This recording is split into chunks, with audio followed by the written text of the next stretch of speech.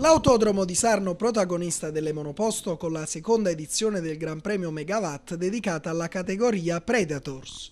Nel circuito usualmente dedicato ai kart hanno sfilato in prova in gara le monoposto frutto di un motore Honda per motocicli e dotate di una sorprendente velocità, quanto una Ferrari 430 dei campionati GT2, grazie alla strabiliante leggerezza che fa pesare le automobili non più di 250 kg.